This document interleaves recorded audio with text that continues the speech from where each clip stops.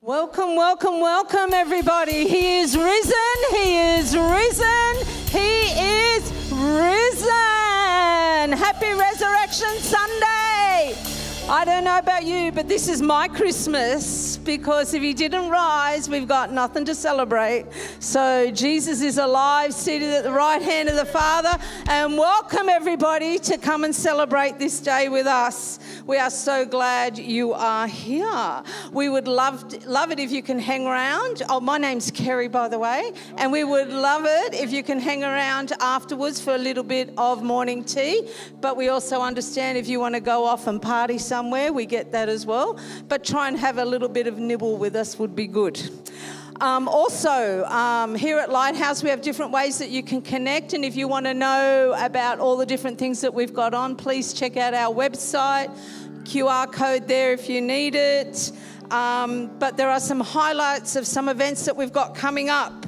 This Thursday, we have our monthly prayer meeting, the Hour of Power here at Lighthouse. So come and join us where we we just storm heaven and just pray for our community, for our nation, and for whatever else the Holy Spirit tells us. Also, on Friday, it's party time for the youth. Ignite Youth is on this Friday. Um, so if you want more information about that, apparently they're having a fantastic time. They think I'm not they think I'm too old for youth, but I don't think I am. But I haven't been able to get an invite yet, so I'll see what I can do. Um, also, this month is our discipleship training month. So, our first session is next Sunday, and it goes from 1 till 2. It's in this um, venue here. It's just an hour of discipleship training, and we're focusing on relationships this month. And so next Sunday will be how to have is it strong relationships.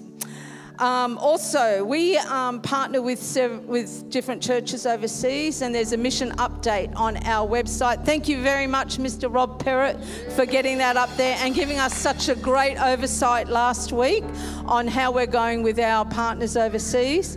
Um, so, if you would like to give, we've got an upcoming mission trip to um, Thailand and Cambodia and some projects that go along with that. If you would like to give to that, they're the details that you can give into the upcoming mission trip and the upcoming projects overseas.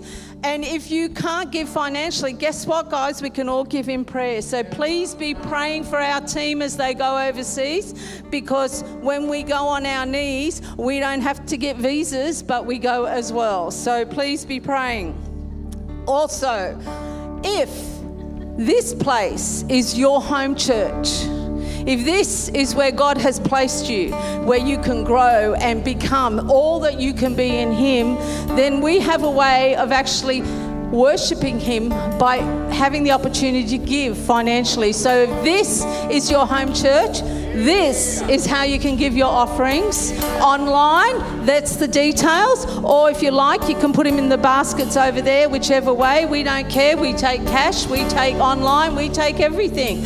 Because guess what? It all belongs to Him anyway. So thank you, Lord. Let's worship Jesus. Yeah, can we all stand up? Take this time to greet one another, give a person a high five. Say, Jesus is alive. Happy Resurrection Day. Our King is alive. Give a person a hug. Yeah. The love of Jesus is in this place. He is alive. Thank you, Jesus, for all that you've done, Lord. We praise you, the King of Kings. Hallelujah. I would sing this My Savior, Redeemer, lifted me from the miry clay. Almighty, forever. I will never be the same because you came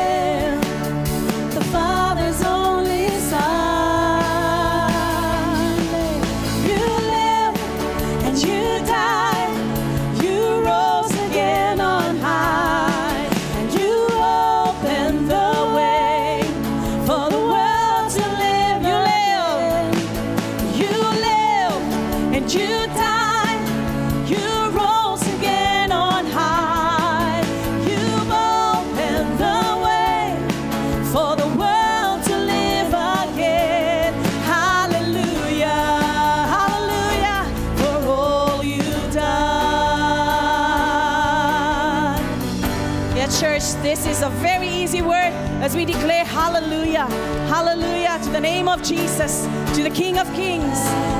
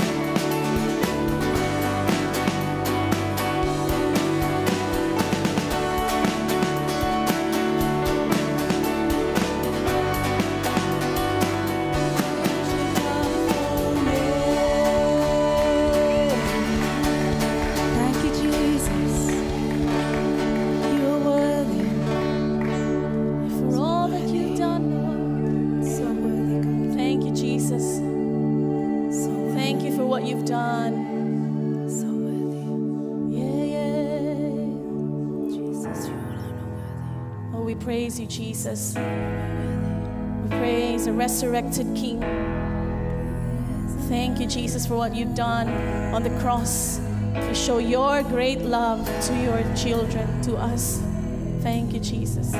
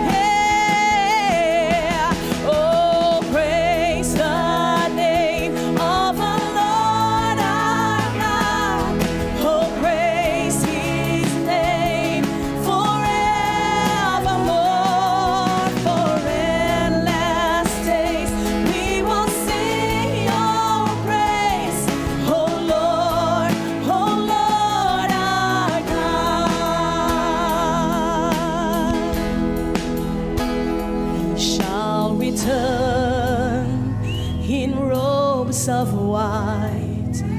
The blazing sun shall pierce the night, and I will rise among the saints.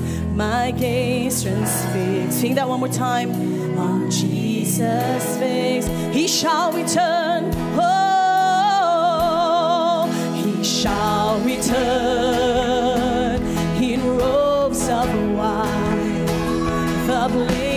blazing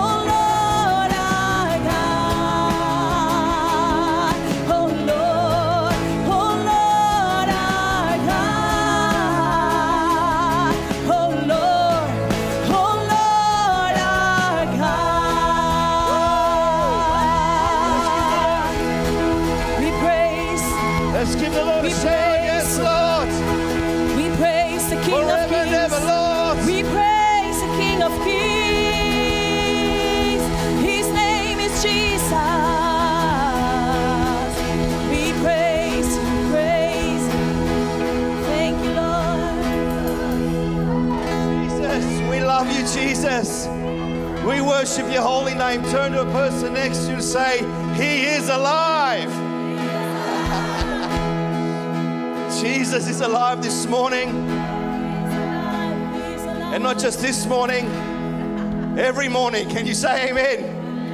Wonderful. I just want us to partake of communion this morning. We weren't sure if we were going to have communion. We had it on uh, Good Friday, but how many you know it's always a good, good time to celebrate the sacrifice of Jesus? To uh, remember and honor Him. In our loudness, the book of Psalms very explicit about praise and worship before the Lord. There's loudness, there's shouting, there's trumpets, there's mu- music happening.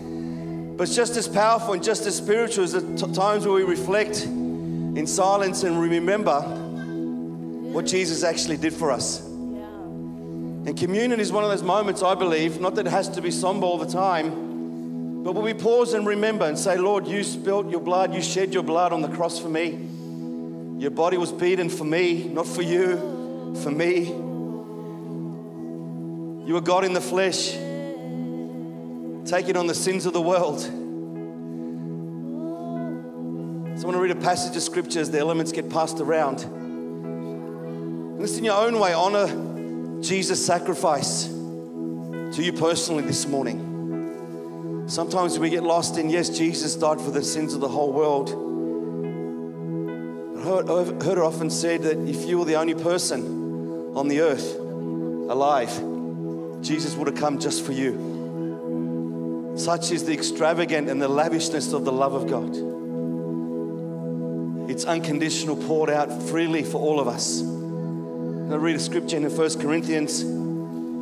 It says, Paul says here, writing to the Corinthian church in chapter 11, verse 23, For I received from the Lord, interesting pause, I received from the Lord. Paul never met Jesus in the flesh, he met him after the resurrection. He was a post resurrection apostle. What I passed on to you that the Lord Jesus, on the night he was betrayed, took bread, and when he had given thanks, he broke it and said, These are Jesus' words for all of us this morning. This is my body, which is given for you. Do this in remembrance of me.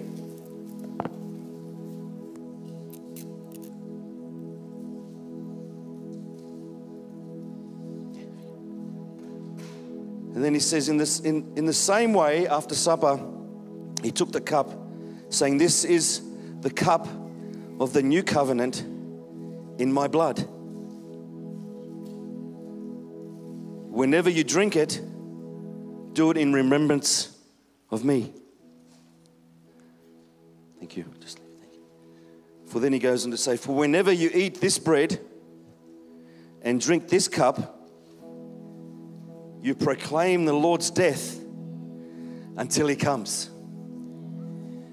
So not only is it a, a moment of reflection and honoring as we're going to partake of the, the bread and the juice this morning, I believe it's a prophetic declaration that as we take communion, we're proclaiming the Lord's death until he returns. We're saying, Jesus, you died for us. You paid the ultimate price for us. And we do this to remember you and look forward that one day you will return, bring us safely home into the Father's house. Can you say amen? So if you can partake of the wafer with me this morning, in your own word, just thank the Lord for his broken body for you.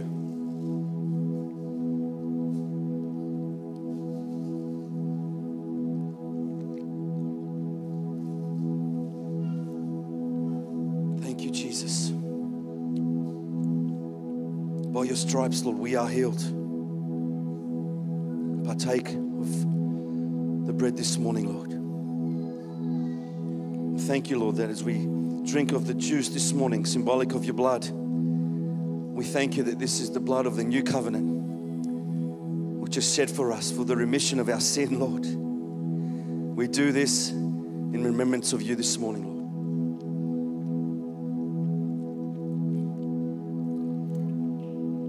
Lord, we proclaim you, your death. We stand on your word, your finished work. So you died, you rose again.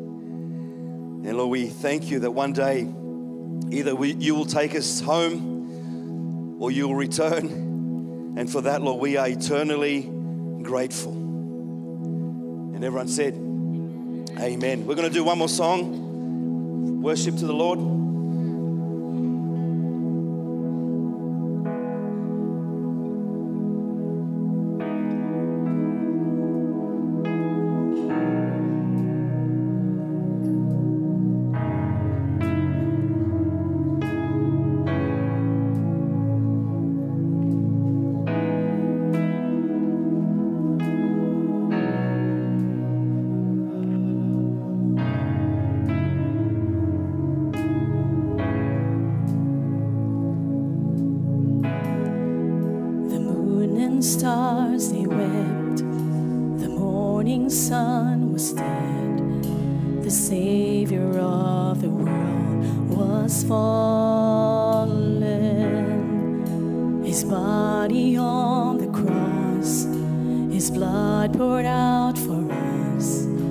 The weight of every curse upon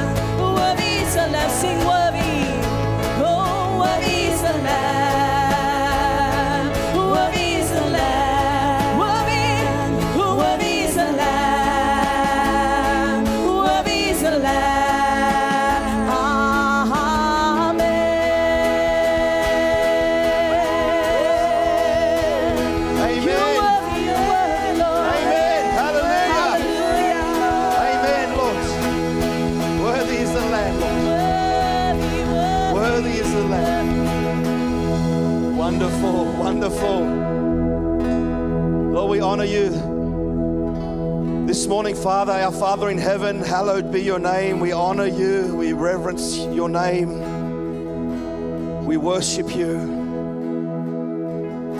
We come with fear in our hearts before you, Lord.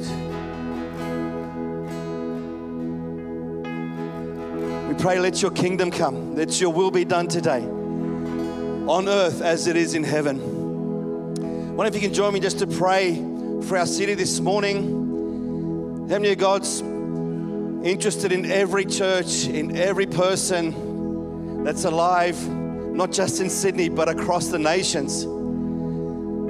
And there's a scripture that says, as we lift Jesus on high, as we exalt him, as we preach the gospel, and the Holy Spirit will draw people unto himself, unto the, the finished work of the cross. You join me today in praying for the Holy Spirit to reveal the truth of who Jesus is and what is done in every church across our city. As the gospel's been preached, the churches that look different, sound different to us, but the gospel's been preached. Can you say amen? Jesus is being celebrated and glorified in churches across our city. So, Father, we join with the prayers of the saints, your children across our city. And we lift up the name of Jesus over the city of Sydney, Lord. And we thank you, Lord, that as your gospel is preached, Holy Spirit, that you'll bring repentance unto salvation, you'll bring faith unto salvation and confession of the Lordship of Jesus. That because your church gathered this morning, that many, many men, women, teenagers, and children will be snatched out of the kingdom of darkness and into the kingdom of your glorious Son. And we thank you and we rejoice in celebrating what you're doing across our city. In Jesus' name. And everyone said, Amen. Hallelujah. Hallelujah. Hallelujah.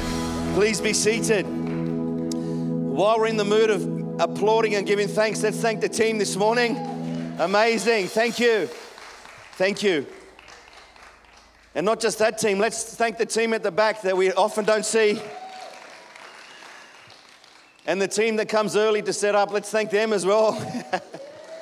the team that cleans the toilets, makes your coffee, looks after our children. Come on, how many know we're all part of the A team?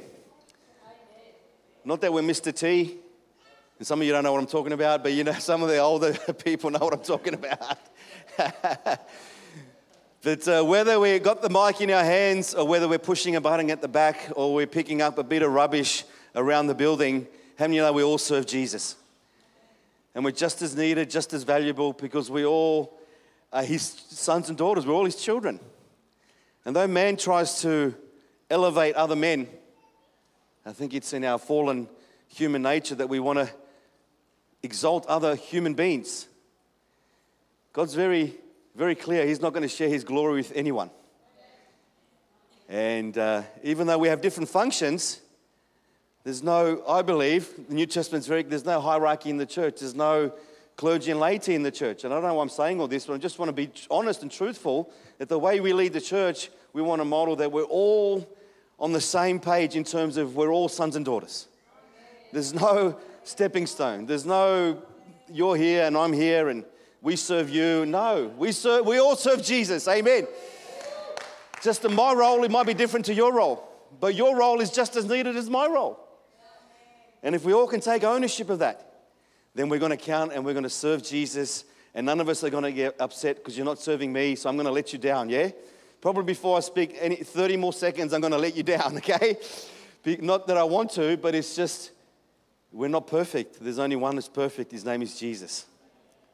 And I love the fact that we can, not only in the church, because some of us, and praise God, we all should be helping and serving in the local church. I believe it's biblical. It's, it's a way that we express worship and community. But we all have also have ministries outside the church.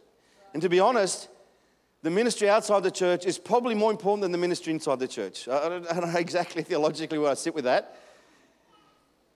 But how many know if we're all saved, praise God, that's fantastic. We're all born again believers. That's great. And we can sing and we can experience God and we can have freedom and we can do all those things, but none, no one outside the building is going to get impacted.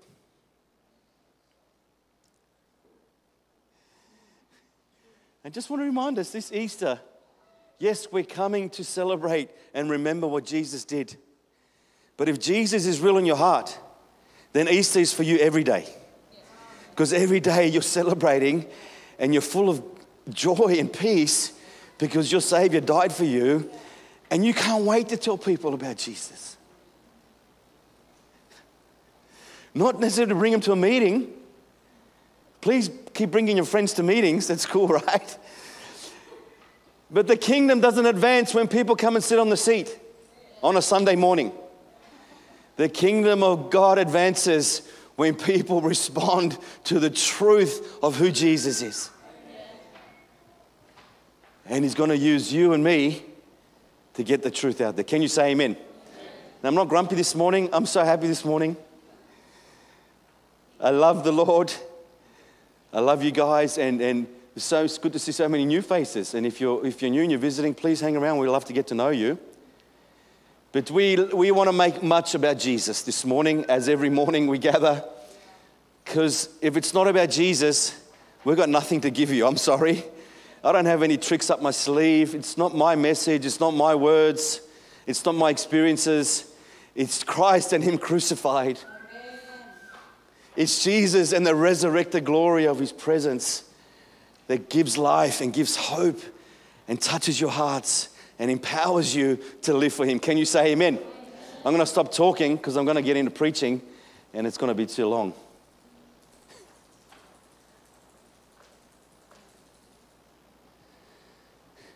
I'm going to ask Alessia, where is she? Let's welcome Alessia.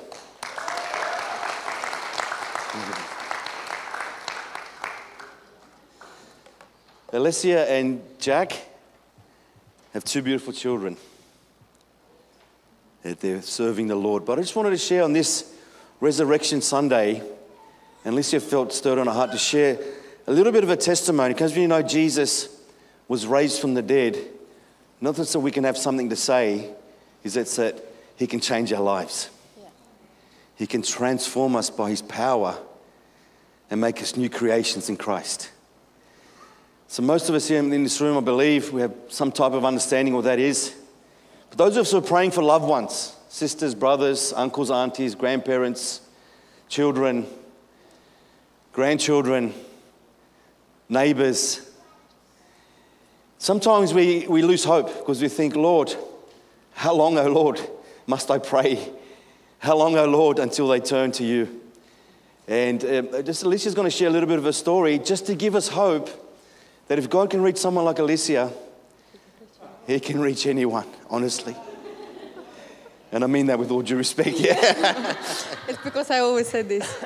Uh, hi, my name is Alicia, and like two weeks ago, I really felt on my heart that God want to share my um, testimony of my salvation. And I believe it's for people, like Jimm says, who believe for loved ones, and you think, I invite them to church, they not coming, or how they ever gonna come to Christ. And I just want to share my uh, testimony how I get saved. So 10 years ago, I came to Australia, um, and I live between two countries, America and Australia. I travel a lot. Um, 10 years before, I live in America, and I live very wild, crazy life in the world. Last three years of my life, I live in Las Vegas. Wild parties, drinking, um, just very dark life. And while I was traveling between uh, Australia and America, I was reading the books. And I was get to the point of my life, I was thinking, while I'm here, what I'm doing, what is the life about? I never dream about to have a children or be married, or I was thinking why I'm here. And um, one day in the evening, I googled the most spiritual book and book come up and it was called Power Thoughts and something 12 strategies to meditate on it or something. So I ordered this book and I start to read. And when I start to read, I realized it's a Christian book. It was Joyce Meyer book. And I start to read the book. So because all referrals to the Bible, and uh, I grew up in Russia after Soviet Union, so I never heard the gospel. I know people celebrate Christmas, Easter, but who Jesus is, it's like, you know, some people believe in Buddha, some people believe in Jesus. I didn't know anything about. So I ordered the Bible um, on her website, and um, I was going through a lot of my personal stuff with my previous, previous marriage. And one day I was sitting on a floor and I was crying and I was thinking what I'm doing and I was over of the fights with my ex-husband. And I remember something about Jesus in the Bible. So I bring the Bible, I open the Bible, and in the end of the Bible was prayer of salvation, but I didn't know it's prayer of salvation. So I start to read. I read three times, like, Lord Jesus Christ, I believe that you're Son of God, and I repent for my sin. And I really start to, from my heart, repenting of my sins. And I start to cry, and I says like, Lord, I ca- like come to my life, be Lord and my Savior. Like I have no head knowledge, you know. I just read the prayer of salvation, but I, I believe what it was said and presence come to my room and everything silence around me. And first time in my life i experienced that what bible says peace that surpasses all understanding. And i remember i'm looking and i'm like what is happening? What is happening? But from that moment i knew it jesus is real. Jesus is alive. I, I start to daily read the bible and hearing god I went to one church in the beginning and tried to tell my experience, but looked like church was very religious and it says like, oh, we don't hear God. And I decided to be on my own for first two years. I was just me and the Holy Spirit and believing what the word says. I was filled with the Holy Spirit of speaking in tongues. At home, without church, God set me free from the alcohol, from smoking pack and a half cigarette a day just in overnight it was gone. Alcohol was gone. All addictions was gone. And i just want to encourage for people like who believe for the loved ones this is the real resurrection power. Jesus says who he is and he is true and he is living and every word in bible is true. As i said i have a no church but i have the holy spirit and i believe the word of god. If it's god says you can be filled with the holy spirit and speaking in tongues it's for everyone. Mm. If it's bible says whoever shall call on the name of the lord shall be delivered. Everyone can call on the Lord, help being delivered. So I just want to encourage to everyone who believe for the loved one, just keep praying and trust God. It's if it's God can save every like person like me who lives in a chain, in a darkness, in addiction, and set me free and make me alive and on fire for God. He can save everyone. Thank you, Lord. To you be Jesus all glory. Amen. Thank you, Jesus. Thank you, Lord. So good. Thank you, Lord. Amen. Thank you. Wow. Come on. Come on. Jesus is alive. He's alive to set us free. He's here to break the chains. He's here to set us free from sin, from darkness, from chains that hold us back. And I'm going to ask the guys at the back if you can go to my message, but go to the very last slide. I want to start with the end because this is where we want to get to. So, so one before that, one before that.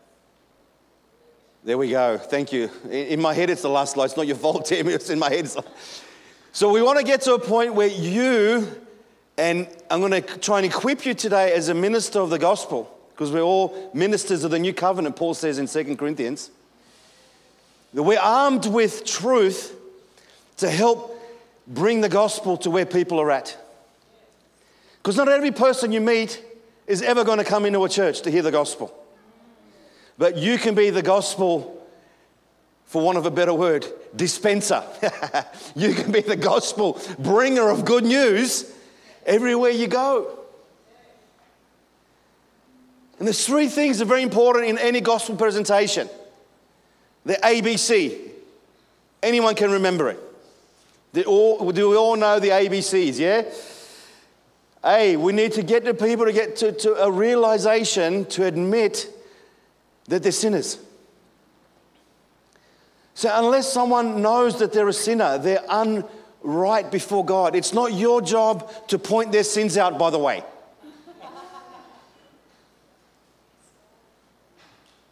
It's the Holy Spirit's job to convict people of sin and last time I checked, you weren't the Holy Spirit.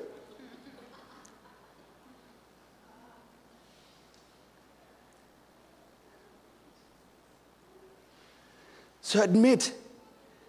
How do we get people to admit? It's a very simple test. When you're in a conversation, most Aussies will say, if you ask them, if you were to die tonight, where would you spend eternity? I don't know the actual statistics, but most Aussies, over 70%, would say, I'd go to heaven. And if you ask them why, they'd say, This is the number one response I'm not such a bad person. And if that's the response, you've got them. because all you need to get them to admit if you've sinned once in your whole life, guess what? You're a sinner. I was a sinner. And now we're saints. We're getting to that. Thank you, Sue. But we, we're, sometimes we're too quick, and I'm not having a go at you, Sue. I'm just sometimes we're too quick to bring the good news without diagnosing the problem first. When you go to the doctor, what does he say? Where does it hurt? Where's your problem? He doesn't just prescribe you antibiotics. Well, he shouldn't just prescribe you antibiotics. Or he or she shouldn't, if they're a good doctor.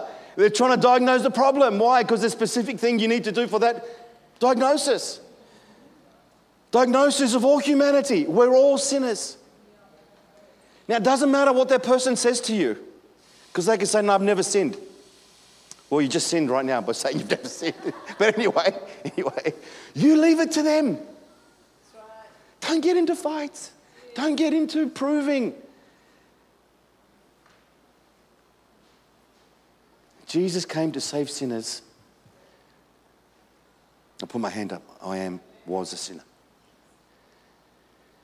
Step two, you bring the cross. You Believe. There has to be a transaction of faith. It's not just saying a prayer. And, and I get, and I'm not having to go, Alicia. I, I, I fully support her decision, what she did. But at some point, the heart has to believe. And that, the Bible says, is a gift of God anyway. so you need to give them something to do. Because faith is a doing word, it's an action. James says faith without works is half dead. Is that what he said? No, faith without works is completely dead. And I get it that we're saved by faith and faith alone. 100% we'll keep preaching that until Jesus returns. There's nothing but faith that saves us. But faith is a response to the heart that believes the gospel. And faith says, I let go in, in the same. So repentance and faith are uh, two sides of the one coin. Because as you repent, you're letting go. And as you believe, you're grabbing a hold of. You're letting go of your dead works and you're grabbing a hold of the finished works of Jesus. Very simple. Are you following so far? I'm arming you to be gospel ambassadors everywhere you go. And if we can mobilize the church to preach the gospel every day of every moment, how many you know our, effect for the gospel in the kingdom is exponential? Because it's not just one day a week we preach the gospel.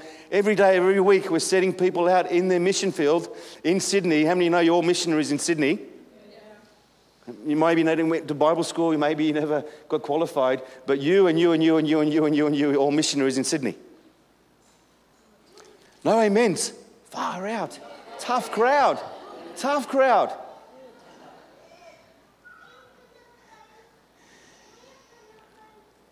And next comes the confession.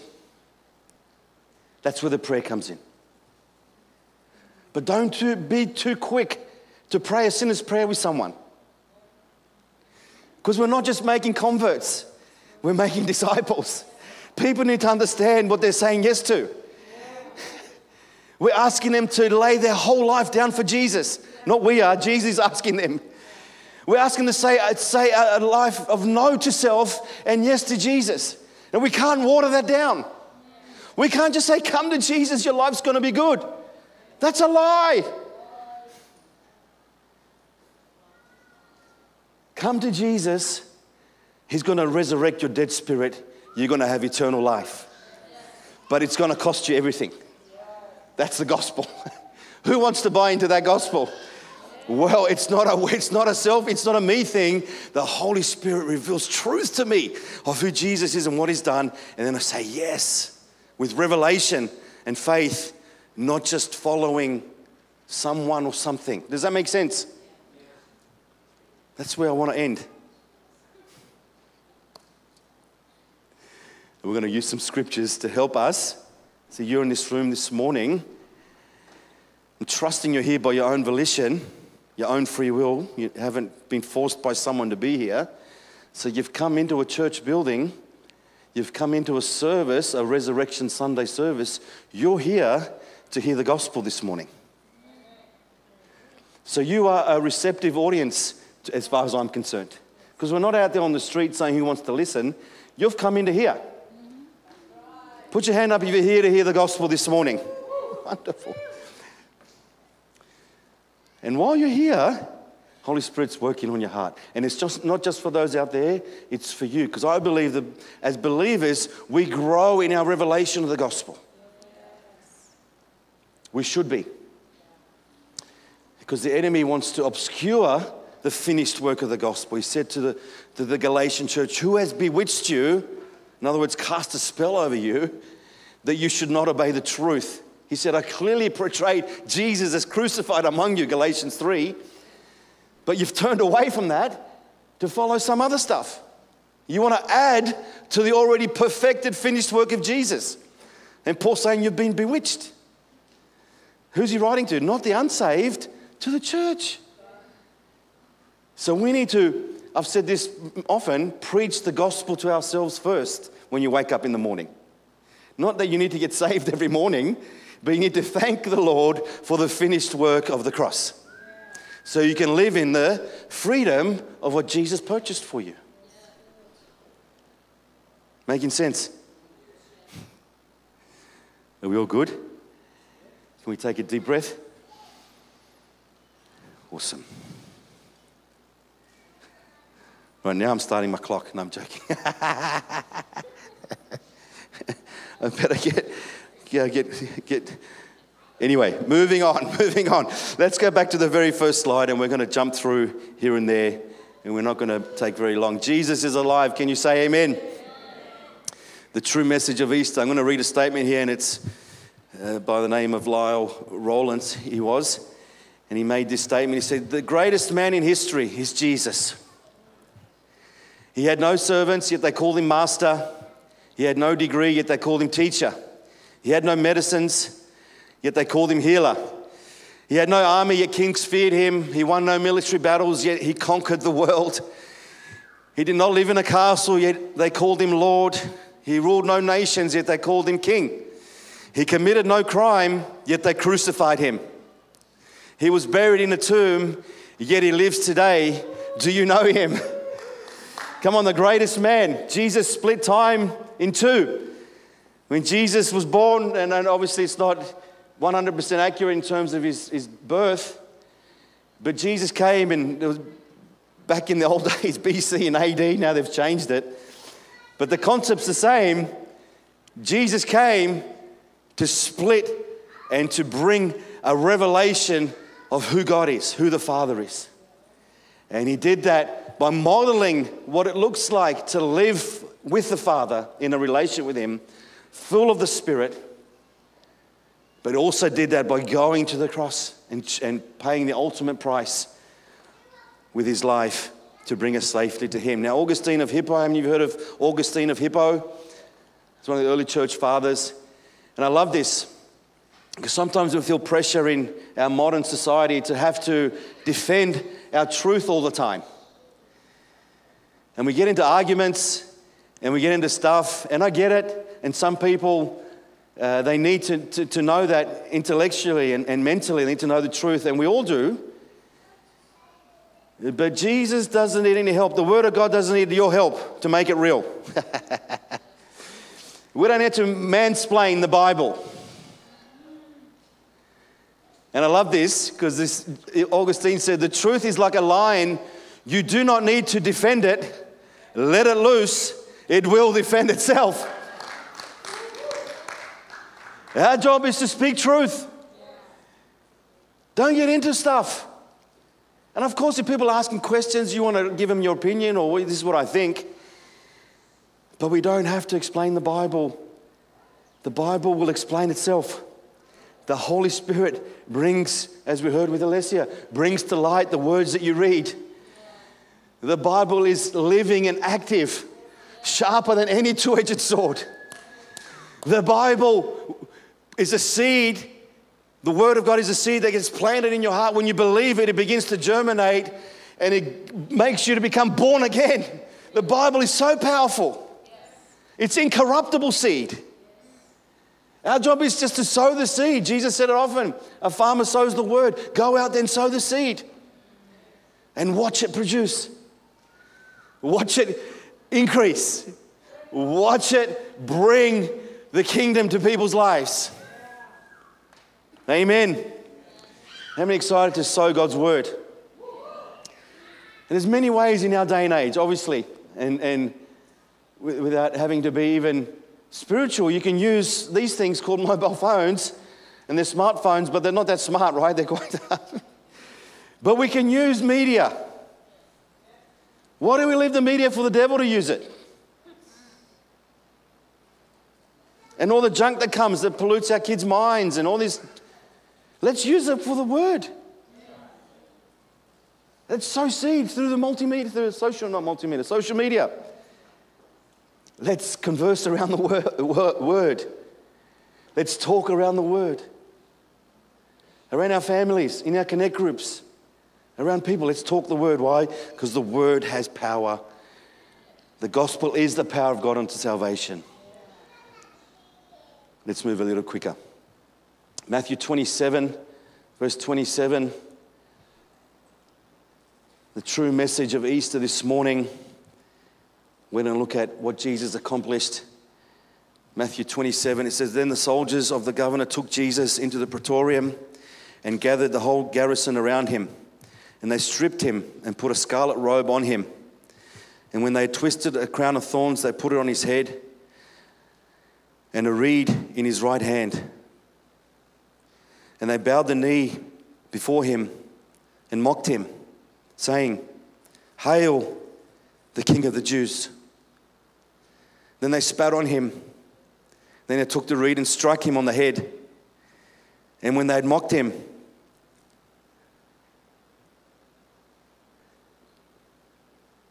they took the robe off him and put his own clothes on him and led him away to be crucified.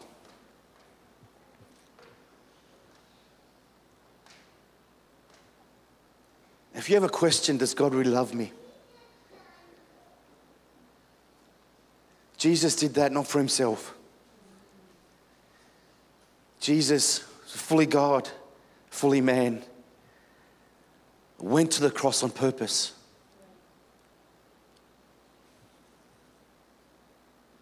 And it was necessary for him to suffer in our place, to be mocked, to be spat upon, to be beaten, to be his flesh ripped open, his beard plucked off his face. The folk, I just want us to focus on the crown of thorns. They put a crown of thorns on him, again in mockery, because they were bowing down, making fun of him, Hail the King of the Jews, and they put a crown of thorns. The crown of thorns vividly symbolized the curse of sin being placed on Jesus' head.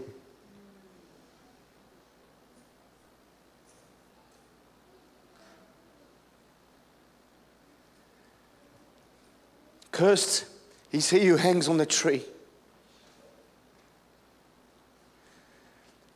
Abraham sinned in the garden. Sorry, did I say Abraham? Sorry. Thank you for correcting me. Adam sinned in the garden and he was banished with his wife from the garden. And the father said to him, You're going to, by the sweat of your brow, and, and the, the, the earth's going to produce thorns and thistles. In other words, sin has cursed the planet now, sin has cursed your life. Sin isn't just a little bit wrong, sin brings death, the Bible says. The wages of sin is death. Sin's ultimate goal is to bring death to you, as was evidenced in the garden. And through that act of disobedience, Adam cursed the whole planet and the generations to come after him. So every person born after Adam and Eve is born in the curse because he was the instigator of the curse. And Jesus, see, no detail in the Bible is insignificant. And these soldiers didn't even know what they were doing. They didn't know they were acting out a prophetic declaration that Jesus, the sinless, spotless lamb, was to take away the sins of the world by becoming a curse for us on the tree. And in mockery, God still has his way. And Jesus as our King. I wonder if we can have that crown that was spinning around before. I if it's possible there. The crown of thorns.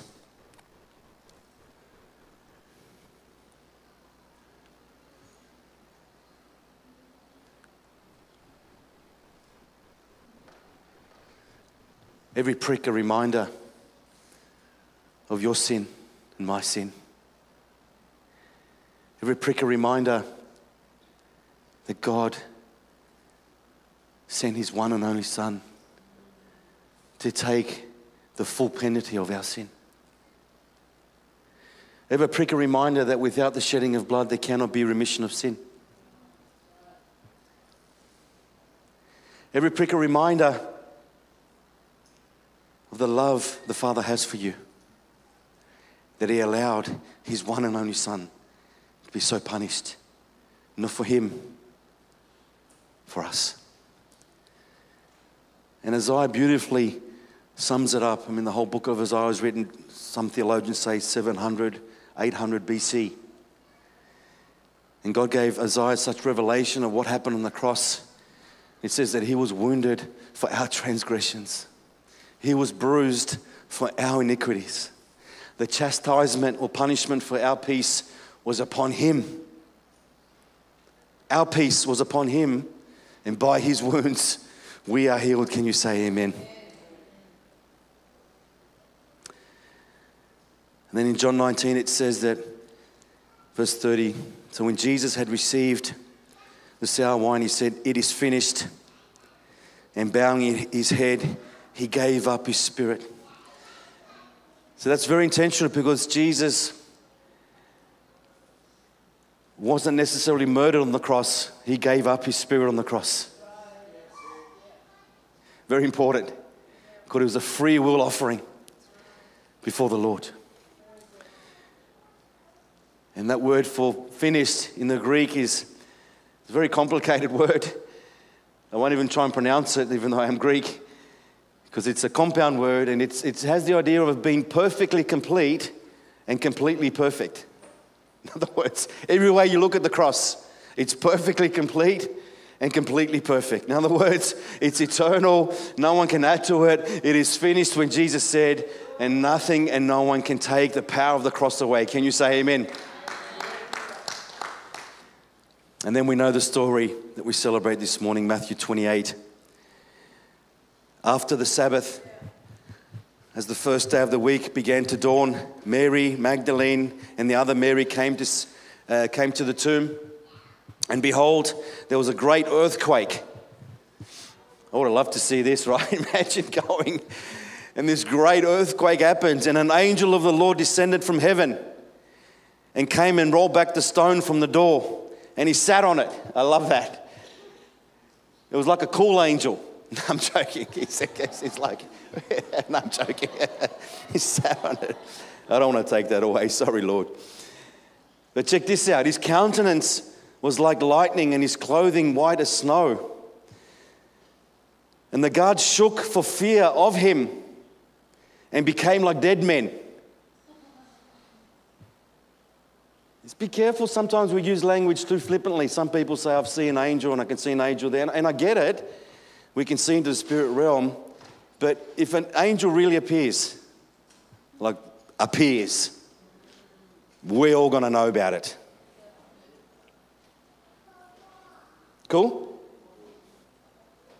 These on the floor, guards smashed by the glory of an angel like dead men. But the angel said to them and to the women, Do not be afraid. That's the first response anytime an angel appears do not be afraid. Because when you see an angel, you're going to. Be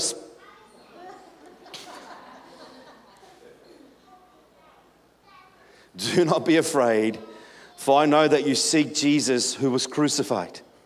He is not here, for he is risen. As he said, Come and see the place where the Lord lay Kerry, you read this in the prayer meeting, didn't you? Yeah, awesome. And go quickly and tell his disciples that he is risen from the dead, and indeed he's going before you into Galilee. There you will see him. Behold, I've told you. So they went out quickly from the tomb with fear and great joy. I love that.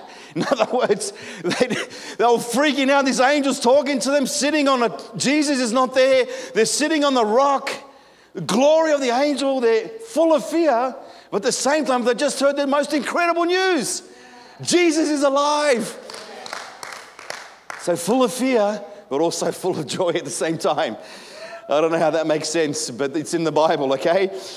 And, uh, and they ran to bring his disciples the word. Wonderful. I'm going to say this morning Jesus is alive. Turn to the person next to you and say, Jesus is alive.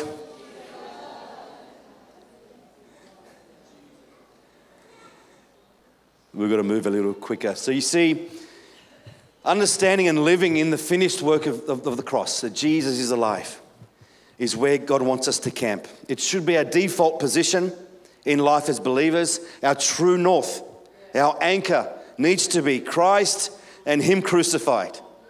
Come on, the whole hymn says, On Christ, the solid rock I stand, all other ground is sinking sand. It's still true today. If we're not grounded upon the gospel, we are like rudderless ships trying to navigate through the storms of life with no fixed point, no compass, no bearing on our direction, no bearing on life or how are we're going to get to where God wants us to be. And I believe as we preach the gospel, as we declare the finished work of Jesus, faith is a byproduct of hearing the gospel. And faith begins by hearing and trusting the gospel. God paid the price for your freedom 2,000 years ago in Christ. Christianity does not begin with something you do, but something that has been done for you.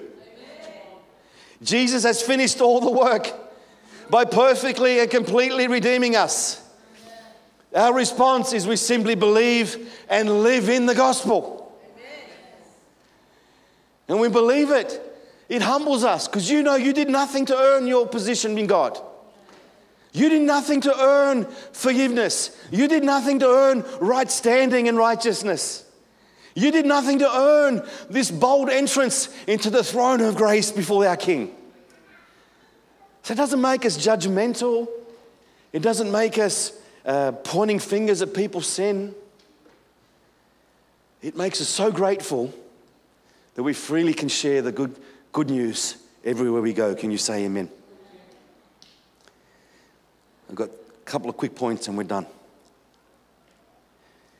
Point number one we need to understand the gospel. I mentioned it earlier. We always need to start with the problem. And I get evangelists, they want us just to make decisions. And I'm, I'm not anti evangelism. We need to have evangelists. They stir the church up to mobilize us.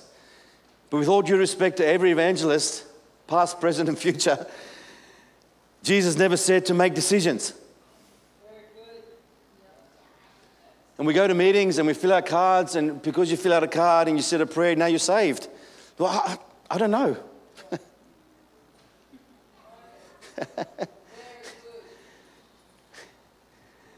See, the proof of you being born again is not that you filled out a card. Is that the Holy Spirit bears witness with your spirit that, that now you're a child of God. Your spirit becomes alive. As with Alicia, she started reading the Bible. Number one fruit, are you born again? You start reading the Bible. I've read the Bible before as a Christian. I couldn't understand one word. The moment I got saved, the, actually that, that night, I gave my heart to Jesus, born again. I went home. Where's the scriptures? Number two proof you're born again is a fellowship of believers. We forget about this truth. When we come together, you're, you're part of a body. You've been united together with a local body, but also the greater body. It's not just a decision. Now you are part of a family. That's number one. Two fruit that you're born again. You want to belong somewhere. Come on, someone please say amen, okay? and again, very vivid for me. My sister, she's probably watching on YouTube. Mary, let's be praying for her. She's got a, a very ba- bad knee. She cracked a kneecap. Um, let's be praying for her. Anyway, she's an evangelist, I believe. She loves telling people about Jesus. She didn't invite us to everything the church was doing. We weren't Christians at the time. And I just, for the sake of just annoying, we, we used to turn up to stuff. But God had a plan. But before we got saved, one time I remember vividly, we went to Luna Park and we kind of got tricked. I thought it was just her and us, but she invited all her church friends. And I'm thinking, who are these bunch of loonies? I don't want anything to do with you. And I vividly remember telling my sister, okay, you guys go this way, and we're going to go this way. Because as for me, we, we want to mix with these weird Christians. The moment I got born again, I didn't have to read it. I didn't have to, my heart changed. I knew you're my brothers and sisters. I'd run to every meeting. I'd hug everything that moved. Still do. Why? Because my heart came born again.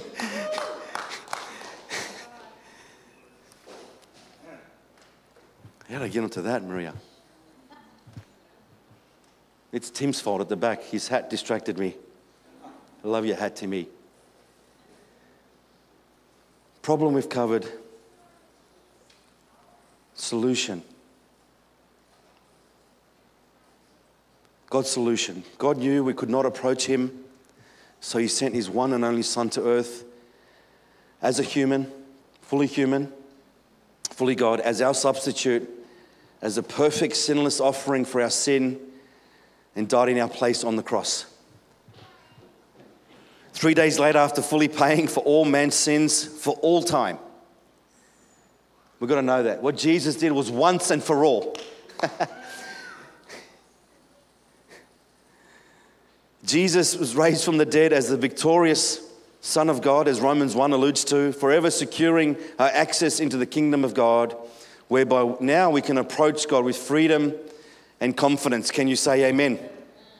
And that scripture there is so powerful. When God, but God, who, rich, who is rich in mercy, because of his great love with which he loved us, even when we were dead in our trespasses and sins, he made us alive together with Christ. For by grace you have been saved. And he raised us up together and made us sit together in the heavenly places in Christ Jesus, that in the ages to come he might show the exceeding riches of his grace in his kindness towards us in Christ Jesus. For by grace you have been saved through faith. And that is not of yourselves, it is the gift of God, not of works, lest anyone should boast. For we are his workmanship created in Christ Jesus for good works, which God prepared beforehand that we should walk in them. Can you say amen? amen? The problem mankind is dead, spiritually dead without God. We're on a, road to irreversible, eternal punishment without Him. And just so we're clear, God doesn't send anyone to hell. We choose to reject Christ. Jesus has paid for the salvation of every human through all time for all eternity. And that's the message we need to get out because they all need to hear it so they can believe it. Turn to the person next to you, say, It's all on you. It's all on you. It's all on you. Next is eternal. We're almost done. The gospel is eternal, and sometimes we take the eternity out of the gospel. We just want to give people some peace and forgiveness for this life. Come, God will forgive your sins away. He'll wash you white as snow, and I get that. Psalm 103, my favorite psalm. He forgives us all our sins as far the east is from the west. But it's only part of the gospel. You see, Jesus saved us, He's saving us now, and He will save us in eternity. That's the gospel. It's not a one dimensional gospel. It's a 3D gospel past, present, and future. Amen. Hebrews 9:12 said he did not enter by means of blood of goats and calves, but he entered the most holy place once for all by his own blood, thus obtaining eternal redemption.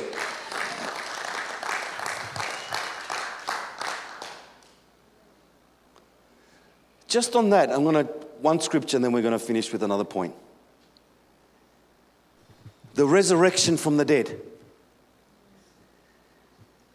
Paul says in Romans 8, let me read it. We know that the whole creation has been groaning as in pains of childbirth right up till the present time. Not only so, but we ourselves who have the first fruits of the Spirit groan inwardly as we wait eagerly for our adoption to sonship, the redemption of our bodies. Focus, follow the train of thought here. For he says, In this hope we were saved. He says, But hope that is seen is no hope at all. For who hopes for what they already have? But if we hope for what we do not have yet, we wait for it patiently. What's Paul saying there? Saying part of the gospel is our eternal salvation, is our resurrection from the dead of our physical bodies. That's part of the gospel. I didn't make it up, it's in there. And Paul says, We're groaning inwardly. We're waiting for this day to come because one day we're going to be set free from this groaning because we're going to receive the hope we're waiting for the resurrection of our bodies.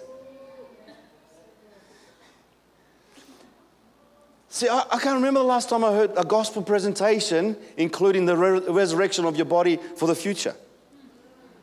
I can't remember. I'm not saying it's me, I just can't remember. Because we make it all about the here and now. so one day, if you know you're going to get resurrected, you're going to have tremendous patience to deal with anything that comes your way. It stirs you up for patience and good works.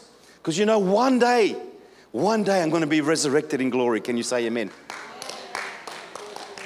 And Paul says it many times in his writings. Philippians 3 says, Our citizenship is not from heaven,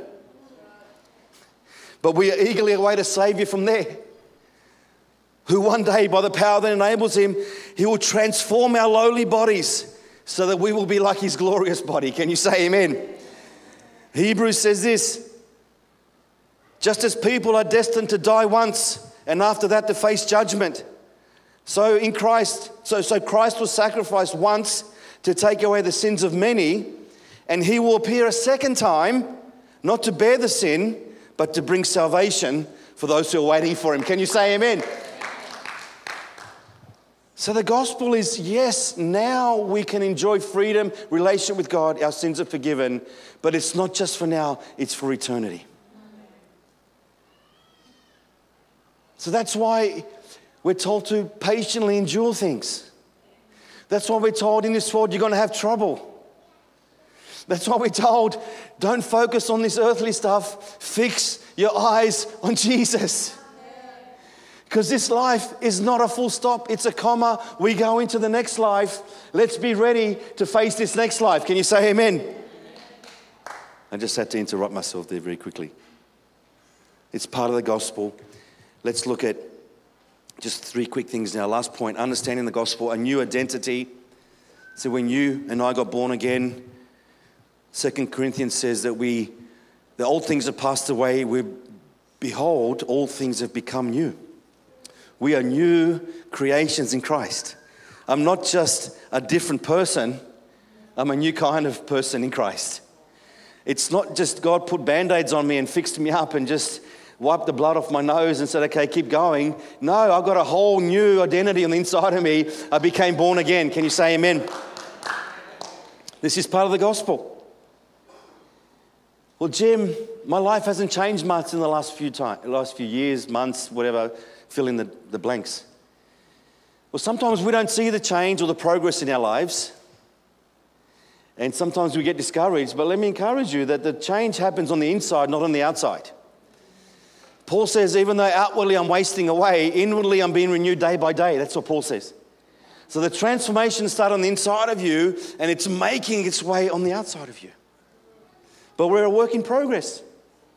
We never arrive at perfection. We are changing.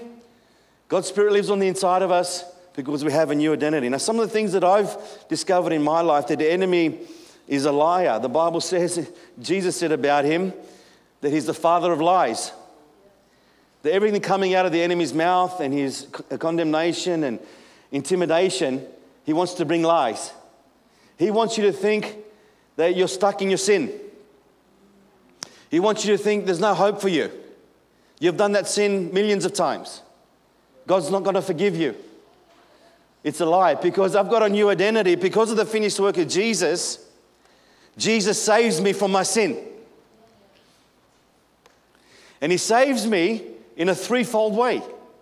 He saves me from the penalty of sin, He saves me from the power of sin, and He's going to save me from the presence of sin. The penalty of sin Jesus took on the cross for you and for me. He took your my place. We never have to pay for our sins ever again. Agree. Please say amen. okay. So I'm saved from the penalty of sin. Would you agree? Now I'm being saved. It's a continual process from the power of sin. How many of you have stopped sinning completely since you've become born again? Thank you. Does that mean we're not saved? No, it doesn't. Our sinful nature, the Bible says, when you're born again, is cut off, cut away, circumcised. We've been made new, born again. Now, there's the, the remnants of the sinful nature. We need to, with Jesus' help by His Spirit, get victory over the power of sin on this earth. And that's where the enemy lies. He tells you that sin is more powerful than the finished work of Jesus. And it's a lie. so, what do you do when you're tempted to sin? You bring your sin to Jesus. Don't run away from Jesus. He loved you so much, He wants to help you through your sin.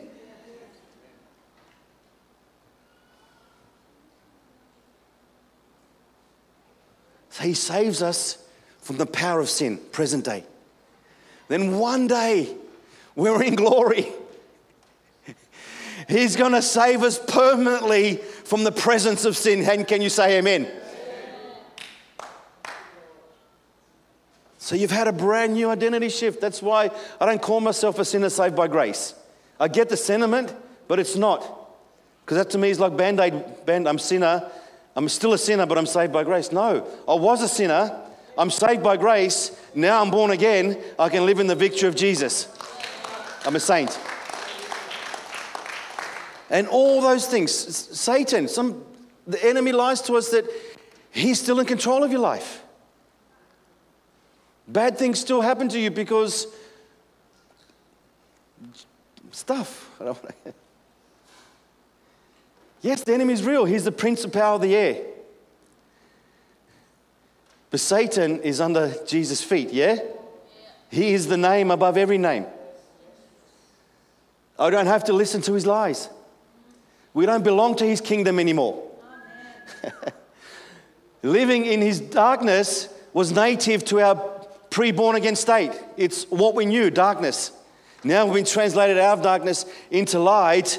Light now is our na- natural environment. Can you say amen? amen? So you struggle with stuff, nightmares, fear, intimidation condemnation. These are all realms of the dark realm where, where the enemy lives. You've been translated out of that into light. Don't believe the lie anymore. The world's the same. Next slide. We've been saved from this world. Jesus said, You're of this world, sorry, you're in this world, but not of this world.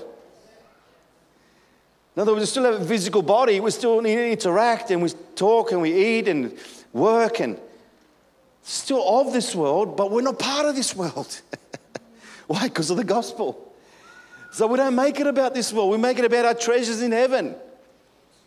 We make it about how many people we're going to bring into heaven with us. I wonder what your welcome in heaven's going to be like. With all the people you've sowed a seed to, you've prayed for, you've led to Christ. I want hundreds and thousands of people to welcome me into heaven. Can you say amen? Why? Because we're not of this world. We're in this world, not of this world. Anyway, let's move on. The law. This is a big one as well. We've been set free from the curse of the law. in other words, the law is a composite whole. In other words, if you break one commandment of the law, you're guilty of breaking all, 100, all 631 of them. The 631 in the Old Testament, commandments of the law. God's so serious about holiness that if you broke one, you're guilty of breaking all of them. And he's very clear about the, the curses that came upon his people who disobeyed the law death, miscarriages, and uh, all stuff. Reading Deuteronomy 28. Curses of the law. Jesus became a curse for us that the blessing given to Abraham might come upon us. Can you say amen? So the curse has been broken. You know, when me and Maria got born again, our family bloodline curse was broken. Because whether my sister first, but then in our terms of our kids, the, the bloodline, the curse stopped when we became born again. Why? Because Jesus' work on the cross is more powerful than the curse of sin that was characterized in our life. We're set free from the curse of the law. Now, Paul says, we follow the law, but not as an external written letter or code. We follow the law from obedience of our heart. We uphold the law from our heart, not because of an external regulation. Does that make sense? Because some people preach we, we don't have to do the law anymore. You heard that? that we're so saved by grace, we never have to obey anymore. Well, how can you have a, a gospel without obedience? if you never obey the Lord, I question whether you're saved, and that's straight up honest. and you can quote all the scriptures on grace all you like. But if you never say, Lord, I obey you because I love you, I don't know if you're born again. And I don't want to question your salvation. I'm just saying, let's be careful. Not everything you hear on YouTube and Facebook, gobble it up. Test it. Paul says, test the scriptures, test the prophetic words, test what's going on in people's lives. I'm not angry. Flesh, this is a big one. I'll finish with this.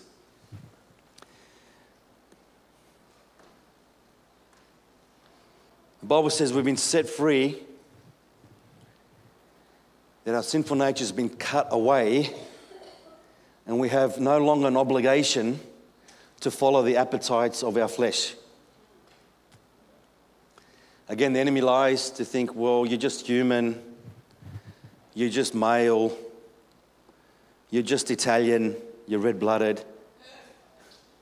Sorry, Rock. You're just Greek.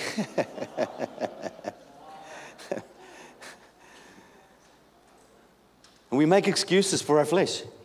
Well, that's just the way I am. it's my way or the highway. Hold on a second. Hold on a second. If Jesus has set you free, then he encourages us to walk in the Spirit.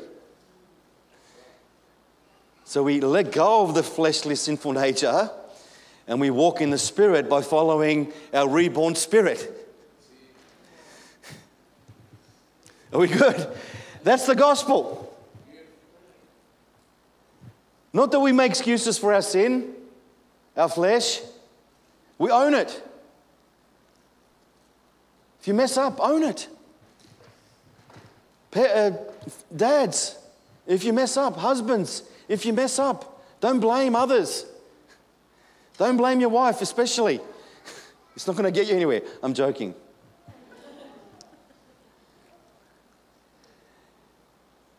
If you lose your temper, say, I'm sorry, I lost my temper. Don't make excuses. If you tell a lie, Say, "Oh, sorry, I lied. Repent. Are we good? This is all part of the gospel. This is all healthy discipleship. This is all declaring that Jesus is alive. He loves me so much that He's welcomed into His kingdom. But because He loves me so much, He wants me to be transformed to become more like His Son Jesus. So there's no more excuse. Turn to the person next to you, say, No more excuses. Either Jesus dealt with it on the cross, or He's helping you now to deal with it, or one day in eternity He'll finally deal with it. It's all part of the same gospel. Can you say amen? Wonderful. Let's stand to our feet, please. We're going to pray. And if you need some ministry, I'd love to, the team here would love to pray for you. If we can have the last three slides up again, that'd be awesome. So this morning, we're going to conclude with just this prayer. The Bible says in Romans 2 don't you, uh, don't you show contempt for the riches of his kindness and forbearance and patience, not realizing that God's kindness is intended to lead you to repentance. So it's God's kindness that leads us to repentance. And this morning, you're here, you're watching on YouTube. There's a number that's going to come on your screen. And if you are watching on YouTube and this message has touched you, please send us some feedback. We'd love to connect with you. Bible says that we need to admit, which is repent, turn away, change our heart and mind. Acts 2 says, Repent, let every one of you be baptized in the name of Jesus Christ for the remission of your sins, and you receive the gift of the Spirit. This morning, Holy Spirit is leading you to repentance. If you know Jesus, then it's an ongoing work of surrender to Him. We repent by letting go of things in our lives. If you don't know Jesus, if Jesus Christ is not the Lord of your life, this morning the Holy Spirit is con- possibly convicting you of the truth of the gospel. And His Holy Spirit is, is leading you to repentance this morning. Where you can say no to sin, no to self, turn away from things that you know that are wrong in your life.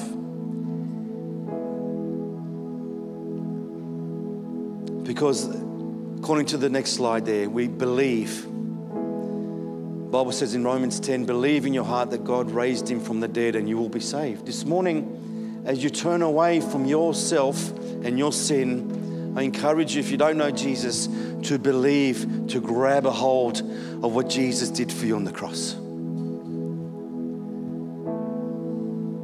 Holy Spirit can lead you into that truth this morning. That you can believe from the heart. And